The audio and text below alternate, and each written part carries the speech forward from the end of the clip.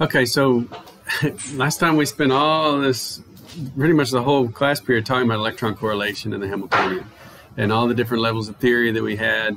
Um, and the more advanced calculations, I don't know if I should be prejudiced against it. Like to me, molecular mechanics and semi-empirical are not advanced, and ab initio and different and density functional theory and those things are are what I would call advanced calculations. And for the advanced ones, you have to specify specifically what level of theory you're using and the basis set. So today we're going to talk about the basis set decision, and then we're going to look at some of the output from these programs.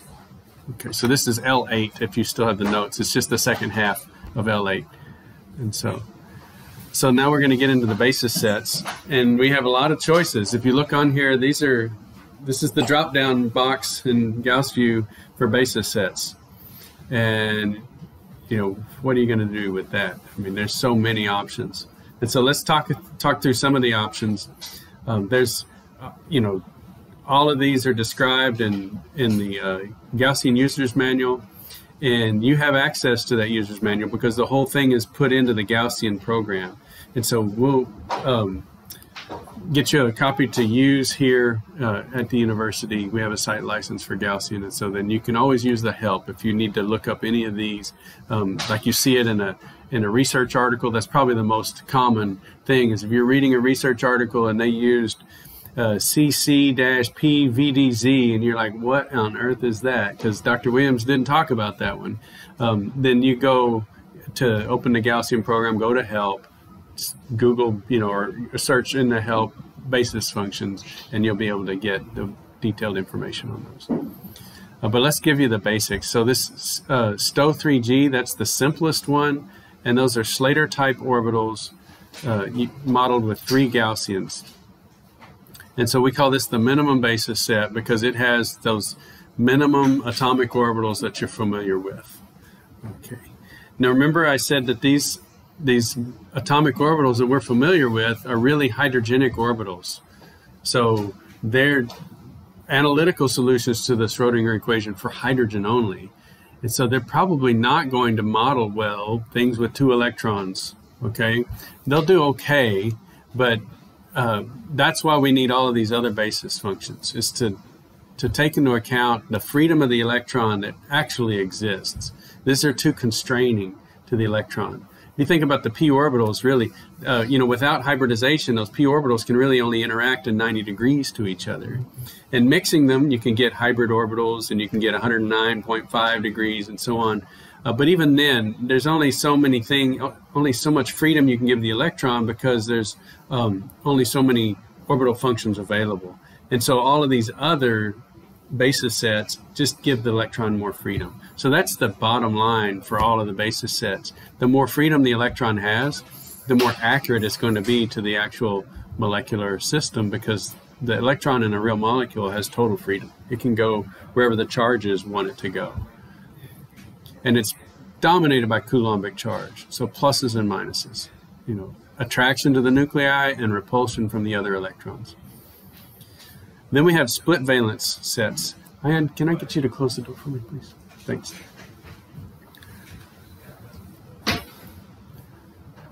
So these with the dash in the middle are split valence uh, basis sets. They have a 3 and a 2 or a 6 and a 3 and the G's always stand for Gaussians because that's what this uh, these functions are using to create their uh, atomic orbitals. And so 6-31G, 6 means there's six primitive Gaussians in the core. So in the core means, you know, uh, the 1s core on carbon, and then notice the valence electrons for carbon are in the, the 2 level, the period 2. So um, they're using six Gaussians to model that 1s orbital. So that's kind of overkill for hydrogen, all right, but still, that's what they're using. And then they're using two, func two functions in the valence. Uh, so for uh, the the uh, 2s and the 2p and the 2y and the 2z, um, 2py and 2pz, they're going to be using two um, Gaussians for each one of those. And so then uh, 6-311 would be called a triple zeta. So sometimes in the literature you'll see double zeta basis set or triple zeta basis set. What is this zeta? Well, in the exponent of this exponential, you have a little scaling factor as to how this electron, it's really the radial wave function, how the electron uh, wave function tapers off as you go to infinity. And, and so these, um, all of these different Gaussians have different little zeta values. And so you can have uh, one with like these three primitives for the the steep part of the curve and then one for the gradual part of the curve. Let me show you what I'm talking about. So the analytical result for the hydrogen atom, the radial distribution function is e to the minus r. And of course, there's lots of constants in there and a normalization factor, but the, the function is e to the minus r. And that drops off quite differently than e to the minus r squared. So a Gaussian is e to the r minus r squared. Okay, and so I've just shown, say, like this red example here. So, so what we've done is we've taken this e to the minus r, and then we've put in another one with a slightly different zeta, so it's a little, uh, it tapers off a little um, sharper, and then another one sharper. And so what we've done is we've created this green curve that's a little taller than this e to the minus r. So here we've, just as an example, contracted three Gaussians together with different zetas, and we've made this red curve a little bit steeper. It's a little closer to the blue line. So the blue line is the hydrogenic orbital, the green line is the contracted Gaussian, and these are three primitives below. So that's what we're talking about. When I say use three primitives for the core, they're creating this this green curve and they're trying to approximate the blue curve. So we are trying to like so the closer you get to the analytical, the better. Yeah, it seems that way. Okay. So they, but they what they've done is they've decided on these different zeta values for each of the atoms, so that they could reproduce things like electron affinity, ionization mm-hmm. potential, and so on. So they they don't exactly match the e to the minus r. They're optimized to reproduce the atomic properties. So they feel like they've got good functions for each of the atoms, and then if the, each of the atoms have good functions, then the molecules should have good functions. So, what's that? This one here. This. It represents this when we say contracted. So these three are combined to give you that one. And I haven't been able to find out whether they're added or, or whether they're um, uh. I think they're added. In this case, they're added. But in terms of what the actual is inside the Gaussian's engine, I exactly don't know how they are contracting these primitives to give you this um, contracted function. But that's what we're talking about here, uh, about contracted from three primitives and contracted from one primitive. That's the language that I'm trying to unpack a little bit, but I exactly I don't exactly know how it's implemented in Gaussian.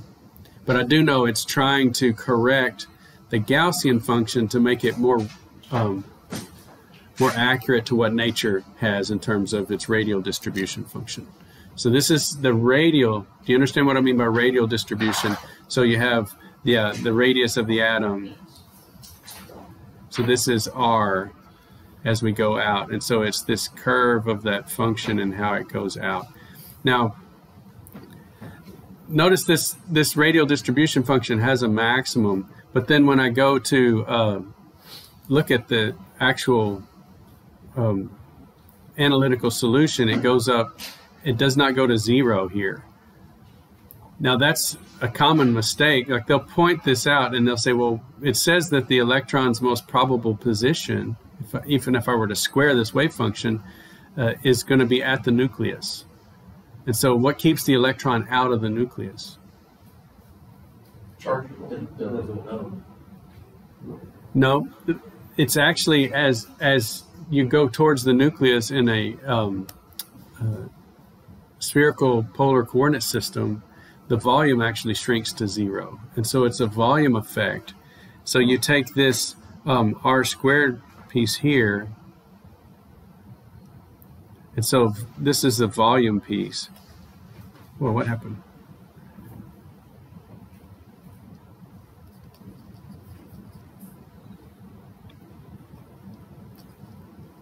So it goes up as r squared. And so when you take the volume in the spherical polar coordinate system into, into effect and multiply that by this wave function, you end up with this curve here. It, it goes up to a maximum and then comes back down. And that's what, that's then the most probable position for the electron right here. And so we would call that R0, that, that most probable diameter of the atom. If we wanted to draw the, the say the 1s orbital, where do we draw the circle, right? So we have the nucleus here. What is the radius? Right, because it's a wave function, right? So where is where do you draw the radius? You could draw the most probable, the top, you know, the the the height of that peak. If we were to square this peak, that maximum value is still going to be the maximum value. So that's that's the radial distribution function, the wave function squared, is going to tell us where the most probable place is. But a lot of times we come out here and we say, what's 95% of this area? Right? That's also a particular radius. And so R95 is a lot of times where we draw these orbitals. So we go out there we say, what, what volume what volume contains 95% of the distribution function, the probability distribution? Does that make sense? So we'll call this a 95% isosurface. And that's um, that's where we draw these these shapes. And that gives you a good idea of the size of the atom. That's why hydrogen is as big as Madisonville to um, what did I say, Madisonville to uh, Navasota, you know, or something like that. And then um, the sodium atom goes from Argentina to North Dakota or something like that. Is there any reason why they chose 95? It's just like 95% confidence. It's like this Mhm. volume has a 95% confidence of. Okay. So does the R square represent the, the probability? Like whenever you do the um the like whenever you calculate the equation on top of um Excel, they use that R square for the probability. No, this is R. This is radius squared. So Oh, this is yeah. So I'll put RO here on the axis. Axis. Yeah. you said 95 confidence, I was like, okay, so we're going. Yeah, yeah. Good question. No, this volume goes as this radius squared, so it goes to zero at the nucleus. It seems to me that that argument has always been kind of um, weak. You know, just to say, well, the electron can't be in the nucleus because there's no volume there. Yeah, when said I was like, it's like, but the nucleus is there, right? But but that is mathematically what's happening is that we take this wave function that that is an e to the minus r, which has a a non-zero result at the origin. The origin is the nucleus. So what keeps the electron out of the nucleus? Well, um, if you were to integrate that, you have to take into account the volume, and that r squared dependence of the volume is what causes that that wave function to pinch to zero at the nucleus. So it's kind of a, a weak argument for why the electron stays out of the nucleus. Um, another one is the Heisenberg uncertainty principle, which is again, if you uh, if the electron were in the nucleus, you would know where its position was and what its Oh, momentum wow. was. Yeah, it's a stretch. No, my I, mine is a sort of an existential thing. If the electron does make it to the nucleus, then it ceases to exist. It it collides with the proton because that's what it's attracted to, and turns into a neutron, Right. and the element changes its identity in the periodic table. So uh, that's called electron capture, and it does happen. So you can see that in the heavier elements when you have so many protons, like uranium, you have 92 protons, 92 protons, and the 1s electrons, those two electrons, are going at relativistic speeds. They're going close to the speed of light. Yeah. And they can be sucked into the nucleus, and then the uranium loses one of its protons and becomes 91, which is, what is that? Yes. Uh, what is that? Protactinium. Yeah. So it's it just slides one to the left, and it's kind of weird to think about, but that's what happens if the electron is captured in the nucleus. So it can happen even though there's zero volume. Yeah. So and so then uh, we have the major sort of selection of the basis set, which deals with the radial distribution function primarily, and then we've got to think about the the angular momentum. So the angular behavior of the wave function. And you're going to have your normal set of, of, of angular momentum functions, the, the spherical harmonics to give you the s orbitals. You know, you're going to have the s orbitals and the p orbitals in, in these atoms, but you have the option of adding higher levels of, uh, of, of functions. So higher angular momentum can be added in on hydrogen and on heavy atoms. So heavy atoms is everything not hydrogen.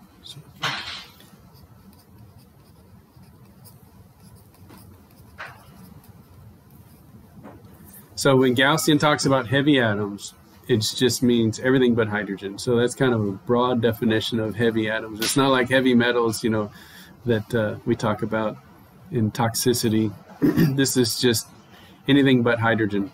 Now that saves a lot of computation time if you can treat hydrogens differently than the other atoms.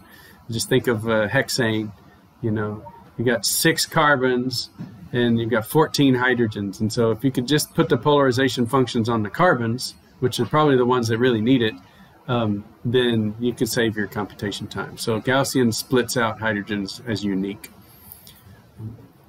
But for things like hydrogen bonding and so on, maybe you want to put uh, P p orbitals on your hydrogens to allow some directionality to their bonding. And so this just gives the the electron more freedom. It gives you good, uh, you know, ability to model odd angles like in cyclopropane. So these are some options. You can type in whatever combination of orbitals you want, but you know, simplest is just to add d orbitals. So this gives carbon d orbitals. Now, it's not really going to put an electron in a d orbital. That would be energetically unfavorable, but it might use 10% of a d orbital. So this allows them to mix in tiny little percentages of all of these orbitals. If you don't allow this d here, then carbon can't bond in, in those kinds of weird angles using the d orbitals. Okay. That would really be important for things like transition states where you might have five coordinate carbon. okay, does carbon typically form five directional bonds? Not really, not in the ground state, but in transition states, it might want to have that ability. Okay, then diffuse functions. These are helpful for anions and uh, things that are going to want to have a, a, larger extent of the electron cloud. So this extends the radial distribution function by adding some more functions onto the to the atoms. And once again, uh, heavy atoms or or not. So the heavy atoms are always first. So this would be all the atoms that are not hydrogen with the first plus, and then all atoms. So the second one would be adding diffuse functions to hydrogen. So you can put a plus in between the 6-31G and the, and the D and the P, or you can put two pluses.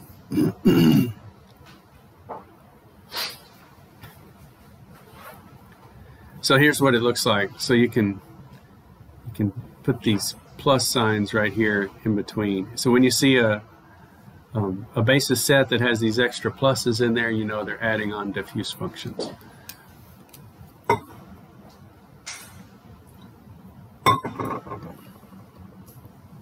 And here's a good monster basis set for good energies. This has diffuse functions on heavy atoms and on hydrogen. Okay. And it's got uh, adding in the 3d orbitals and f orbitals onto the heavy atoms and the 3p orbitals and d orbitals onto the hydrogens. So it's giving like two sets of p orbitals or three sets of p orbitals onto all of these atoms. So here's just sort of a rundown on basis sets. If you have huge systems, like 200 to 2,000 atoms, you're probably going to be using molecular mechanics or semi-empirical methods. So uh, you really don't have to specify basis sets for those because they come with their own basis sets. But then if you're looking for anions, you want to use diffuse functions. If you have strained rings or transition states, you want higher polarizability um, or higher angular, higher angular momentum functions. And then this uh, this suggestion in this latest book, the third edition of Foresman, is suggesting a triple zeta basis set.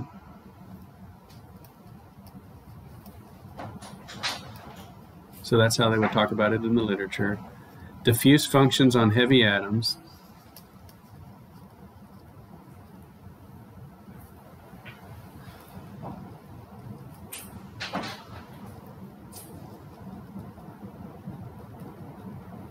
I just call them heavies. Okay. And then uh, getting into the d orbitals um, and p orbitals on d orbitals on heavy atoms.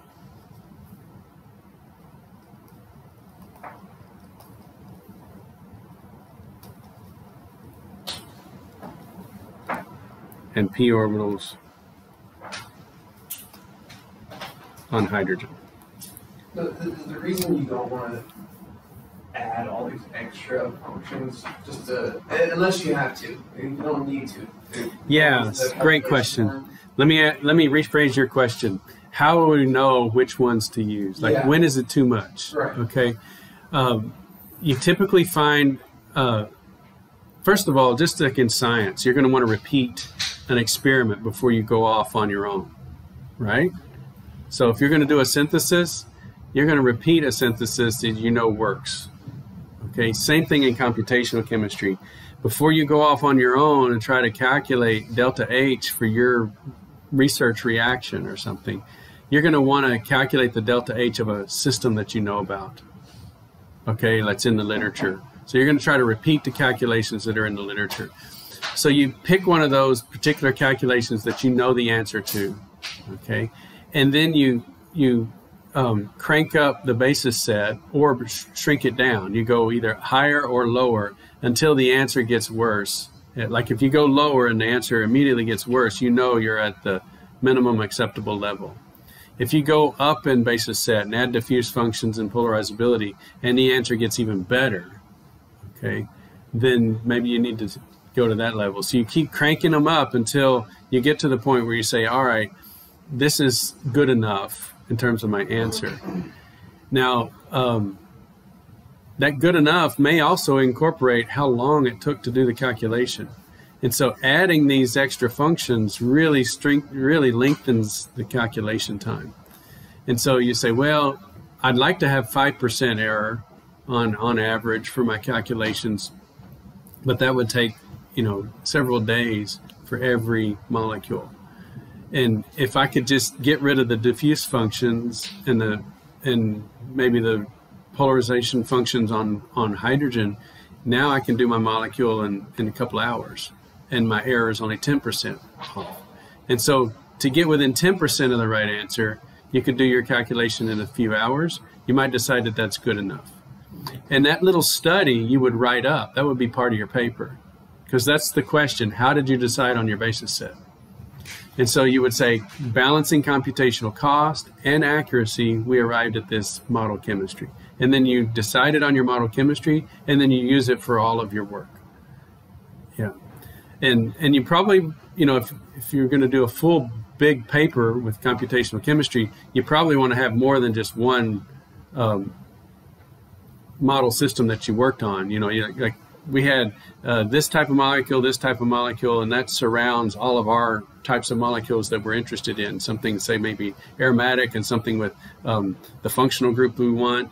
And so you might test a couple of right answers on both of those and make sure your basis set is accurate for molecules that bracket your study.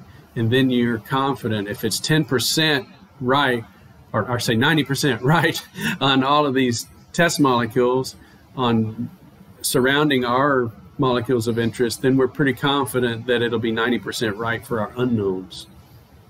Make sense? So it is a balance of computational cost and accuracy. Now, some of that's been done for us. You can look through that Foresman book where, where it talks about selecting a basis set, and it'll have a whole catalog of types of molecules and the, the mean deviation and the maximum deviation in this whole set of molecules. And it'll say this basis set gave us really good results for this huge suite of molecules. And so they help you select that way too. And then if you're going to write your paper, you need to say, well, we use the suggestions in this book, you know, electronic structure methods by Foresman and Frisch, uh, to select our basis set because our molecules behave. They're all normal.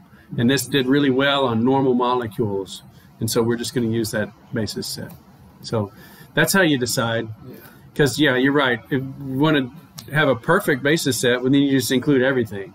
But then your computer is locked up for, you know, two days calculating methane. you know, so it's not going to give you very much. And so the model chemistry have both this level of theory and a basis set. The molecular mechanics have their own basis sets, and semi-empirical uh, calculations have their own basis sets. But ab initio and DFT, uh, you have to have the level of theory and the basis set. And this is typically how it's written. It's level of theory slash basis set. So this is uh, this is the shorthand here.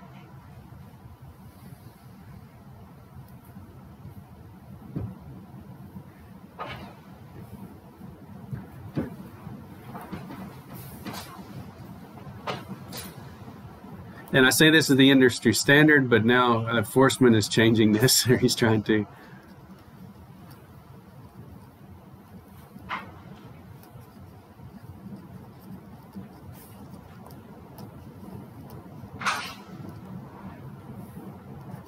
It's the A, P, F. I, I, let's see. It's, it's earlier on the slide. Let me go back. A, P, F, D.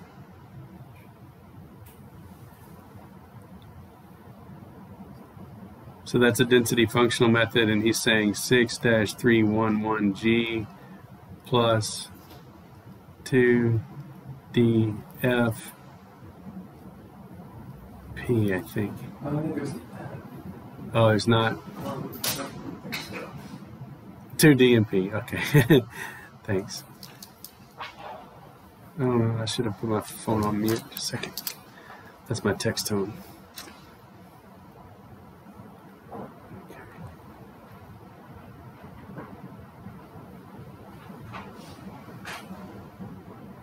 Okay.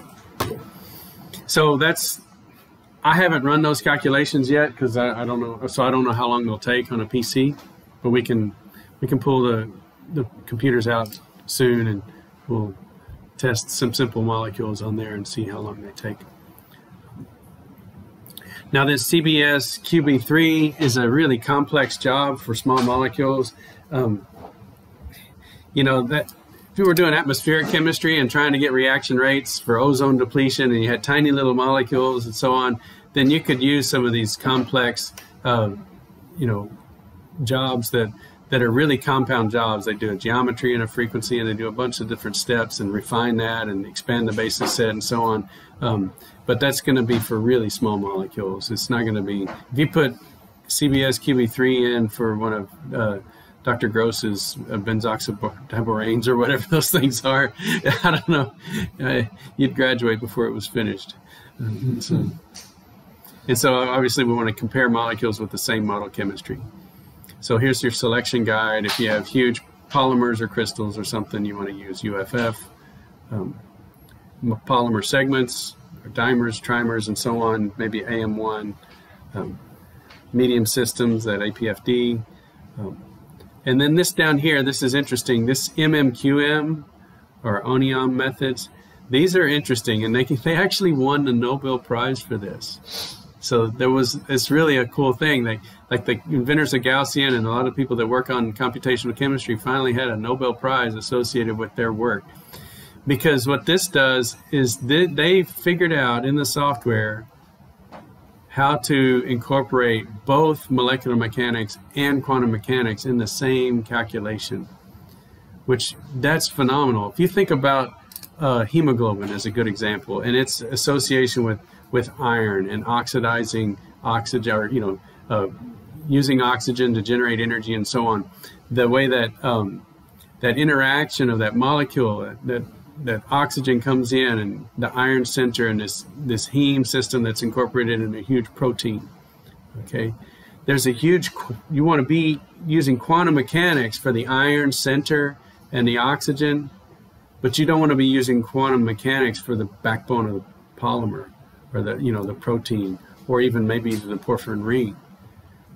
And so is the geometry important and so on this allows you to set up layers in your calculation, and you can select atoms and put them in the quantum mechanics layer and apply like one of these quantum mechanics methods. And then you could select all the other atoms and apply molecular mechanics to them. So the backbone and everything, it ignores all of the electrons in the backbone of the polymer and lets it optimize. But then when it gets down to the active site, it's able to use quantum mechanics. So that's pretty cool. Yeah, and so they that's such a huge computational advance that they got awarded the Nobel Prize. So that's good for them. And, and Gaussian allows you to do that. So this idea of, of you know electron correlation, if you were able to to figure it out, at least use a numerical system that gave you complete electron correlation and put in a complete basis set, then you would have a complete solution to the Schrodinger equation. But the calculation time goes to infinity. okay.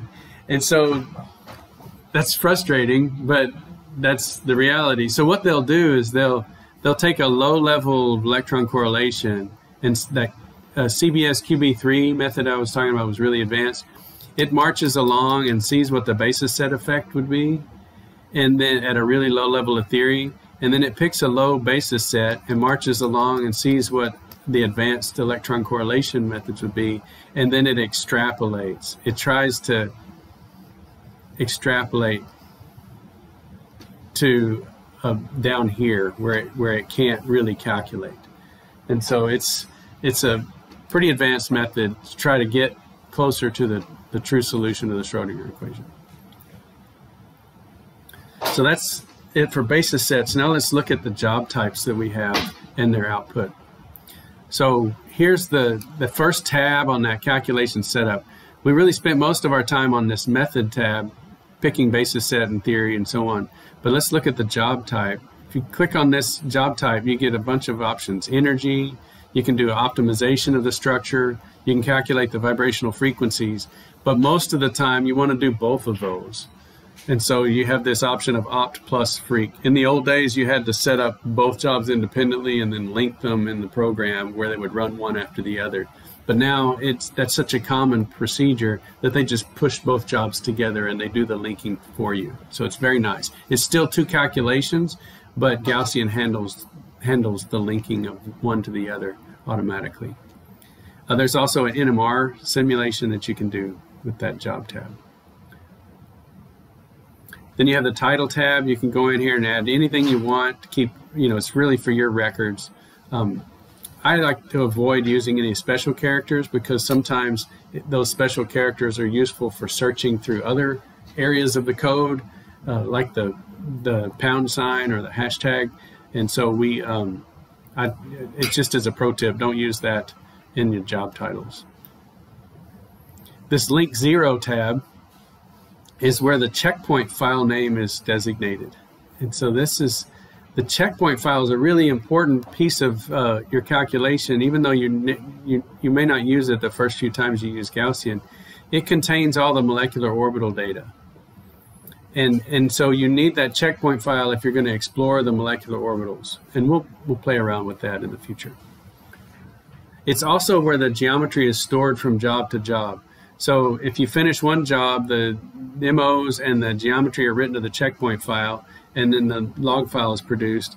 And then when you want to start a new um, calculation, you can pull the geometry from that checkpoint file, so you don't have to go in and like copy paste. It does it for you. So let's talk about computational times.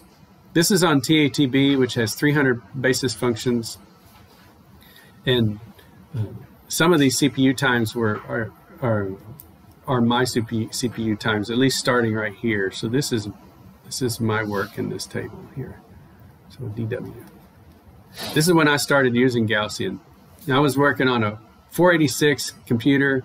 Um, it was uh, it was overclocked, so we we put in a, a, a I forget how we did it, but we replaced the chip. I don't know if we replaced the processor or or, or some other chip in there, but it was it was overclocked at, at 50 megahertz.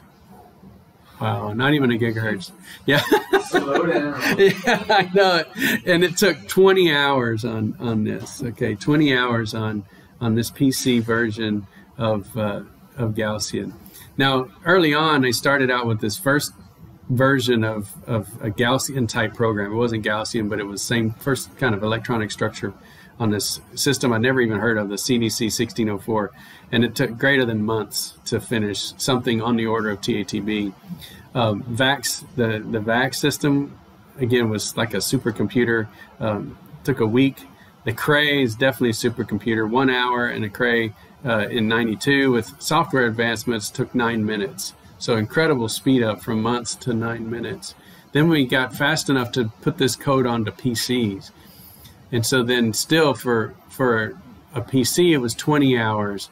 And then years later, uh, it took two and 2.6 hours. I thought I was really doing great then, man. At 94, it was so great.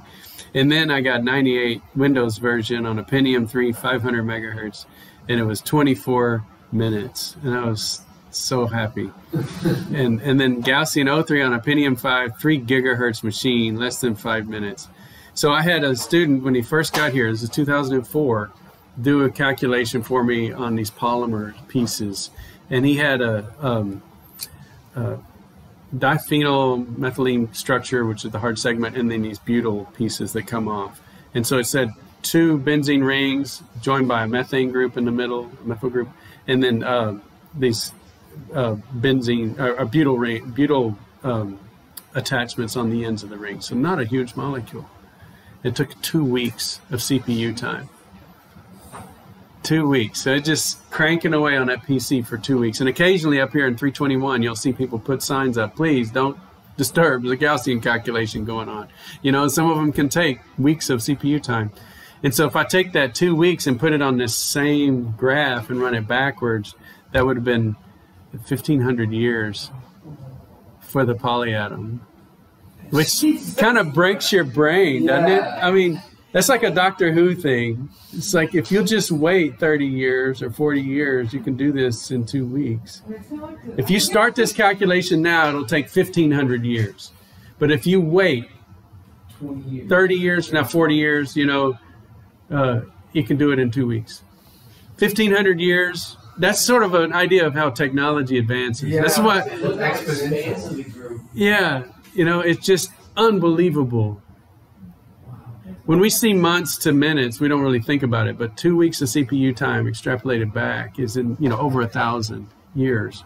I mean, this is dumb, but if you think of it in in the gaming terms, like in 80s, 88, 86, Yeah. Nintendo, like it's all six bits and eight bits. sound. Yeah, yeah, yeah. As you go further down, you go into the 16th and the 32s and the 64. Yeah, yeah, that's, yeah. That's why I equated this as does that you can actually reduce the time. Okay. all I was thinking about. So I know, I mean, I'm sorry for kind of getting off track here, but this is again, like you're saying with gaming, the real realism. Okay, my son bought a Oculus, you know, uh, 3D headset.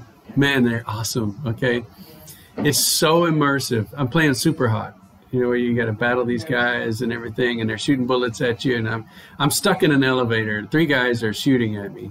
Okay, and I'm looking around and they shoot at me. And so I get out of the way and the bullet comes through. And then I look again and I throw my Chinese star or whatever it is. And then I missed, you know, and then another bullet comes through. And I'm like, if I could get to the other side of the elevator, I could have a better vantage, right? And so I'm going to jump, right? No. I jump, right? I'm not in an elevator. I'm in my living room and I jumped onto the hearth of my fireplace where his oh, computer was sitting. I put my knee through his monitor. That is That's how immersive it is, which is what you're saying from from six bit, eight bit sound, you know, to Mario to that. to fully immersive to where my heart rate's going, you know, and I'm I'm trying to win this game, you know. And I jumped, and I mean, I, it was a great fall. And I was like, bam, bam, rolled around, and Thomas was like, whoa! and game over. His monitor was wrecked, man. Good old eBay. We the reason we got Dell laptops is because Thomas through high school here got to this Dell certified technician, and he was like, "Psh, "It's bad, but you know we can get on eBay at 150 bucks, buy a new monitor, and I can install it." And so, three days later, he popped the top off and screwed in a new monitor, plugged it in, and good as new. So, but I was embarrassed. Oh my gosh, I, was, so bad. I wonder how hard it would be to convince the IT people to load Gaussian on the server and then farm it out to all the PCs that are idle Yeah, well, that that's yeah. There's some definitely Yeah. just to be our campus. Yeah, I don't know that if they've ever implemented anything with like screensavers, but there are calculation groups that have done that for molecular mechanics calculations. Uh, Yeah. SETI, SETI, and there's one called um, uh, Rosetta at home, which allows you to solve protein structures as a screensaver. Yeah. So this is what the Opt+Freq calculation is doing. So you input the nuclear coordinates, and then you uh, calculate the energy, calculate the gradient. So how did the energy change with respect to the nuclear positions? And then you see if you're at a minimum. you change that geometry and start over. So this is an iterative loop. And un- until you discern, determine that you're at a, at a geometric minimum, then you keep going. So what is a geometric minimum? Well, it's a it's a place where there are no no forces on the atoms. So like you can calculate the electron cloud, and if the atom's over here and all the electrons over here, there's a force on that nucleus pulling it towards the electron density. If it gets inside that electron density and there's another nucleus over there, then there's repulsion and it's pushing it back. So somewhere in between these two points is a minimum, and there'll be no forces on the nucleus. Um, it also, if it's, it calculates the gradient, which is the force on this nucleus, and, and it calculates the next step. So even if there's a, a, a tiny force on the nucleus, what's the next step? And if it's essentially not a, much of a change in geometry, then uh, it's it's going to say it's at a minimum. So it never reaches perfect minimum. It gets below a certain criterion, like below a certain amount of force on the nuclei, below a certain distance that they would want to jump if they were allowed to jump again, and and so we call that a minimum. And there's uh, uh, I think it's on Wednesday. I go through the output file and we actually see the criterion in the output file. So let's say we've reached a min- minimum. The next calculation, totally different job, is a frequency calculation. This does the second derivative with respect to the uh, motions of the nuclei, and that's where we get the vibrational motion. Um, and so it also tests for negative frequencies. If there are negative frequencies, uh, which means you're at the at the top of a hill, not at the bottom. So think of a parabola going this way. You have real um, uh, frequencies, real vibrational frequencies. But if the parabola is going down, there we go, then you have ones that are less than zero. They're negative frequencies. And so that's what we call imaginary frequencies. And if you have those, then you've got a, you, Gaussian thought it was at a minimum, but it wasn't. It was at the maximum with respect to one coordinate, which again has a force of zero and so on. And most of the time, that's Gaussian's getting stuck there because you've told it to maintain symmetry. Like, um, let's think of uh, like toluene. So you've got this benzene ring here and a threefold uh, methyl group on the end. If you put build it a certain way, it could be CS symmetry as a mirror plane, and and if Gaussian is only if it's been told to maintain symmetry, it's only going to jump to places that are CS. It won't rotate that off axis to lower the energy because you've told it to stay at a CS um, structure. So you may want to reduce the symmetry and kick that methyl group a little bit off the plane, you know, one of those bonds out of the plane, and then it'll be able to find the minimum. and then you change the geometry, then you go back through the optimization step and then to the frequency step, and eventually you get to the point where there are no negative frequencies. And you would call that a global minimum, but you're really not sure if you have a lot of dihedrals. So, so then you have the optimized geometry and energy data. And on Wednesday, so we're not having class Monday, but on Wednesday we'll go through um, all of the output and we'll look at at some of these um, figures that I'm about to show you here.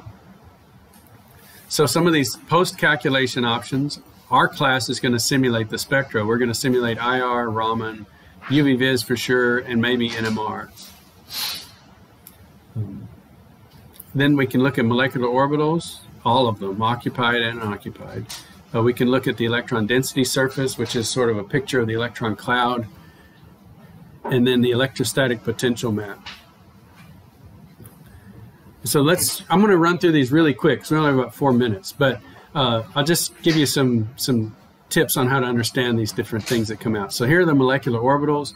Once again, I like to picture this as a shrinking and a, an expansion. So yeah, the one on the uh, left is expanding in all directions. The one on the right, one side shrinking while the other side expands. And so that electron density is sloshing left and right in the y direction on, on water. So we can look at those, we can see that there's directionality to them and, and symmetry to them. Here's the electron density surface. And so notice there's, this is benzoic acid. Um, I have here, let's see, yeah, this is the ISO value 0.01, and this is 0.05. And so you can you can think of this as a 99% surface. Remember I said earlier we would where do we draw the line? We, this this cloud contains 99% of the electron density. This is a 0.05 surface, so this contains 95% of the electron density. Okay.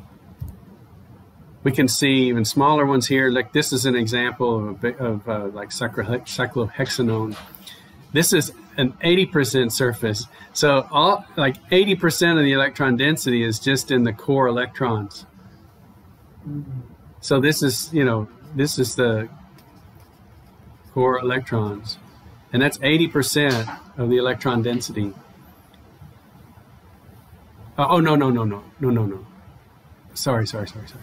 No, let's start it over here. This is 95% of the electron density. Okay, yeah. So then this right here is um, uh, it's the isosurface of 0.6, so that's 40%. Yeah, and this is 20%. Okay. Notice how the 95% matches the space filling model pretty well. And so they're all model kits with the space filling uh, balls that snap on. Um, that's that's a pretty good picture of how puffy the molecule is. And then you can use the electron density to kind of understand uh, electron withdrawing or electron donating. Look at HF and compare it to lithium hydride. and this tells you why we call it lithium hydride. Look, this is the hydrogen, and it has most of the electrons, right? It's it's pulled hydrogen, or uh, pulled electrons away from the lithium, whereas HF, the electrons are pulled more towards the fluorine. And then if we walk around that electron density with, say, a positive charge and see what the forces are, we can tell if that that part of the electron density with the with the positive charges on the inside on those nuclei if those positive charges are shielded by the electrons or not and up here this is negative. And so there's a lot of electrons here that are shielding those positive charges. And over here where the hydrogens are um, there's not a lot of electrons shielding those hydrogens. So these are positive areas. So the blue is colored for positive and the, the red color is for negative. This again will tell you where uh, an electrophile would be attracted. It would be attracted to the top and bottom of the rings, and a nucleophile would come in and, and like to interact with the hydrogens. And we can see this, you know, where, again, on the larger molecule, positive, an acidic proton right here, if ever there was one. It's the electrons have been pulled towards the ring and expose that hydrogen and it's it's a it's able to be removed by a base so if a base comes along it's going to steal that hydrogen from benzoic acid and the and just the rest is just showing you some stuff about uh, what we can get out of Gaussian. We can get potential energy surfaces. We can get transition states. And then the last set of notes just kind of shows you how good it is for bond lengths and vibrational frequencies. So, so we won't have class on Monday, but we'll see you on Wednesday.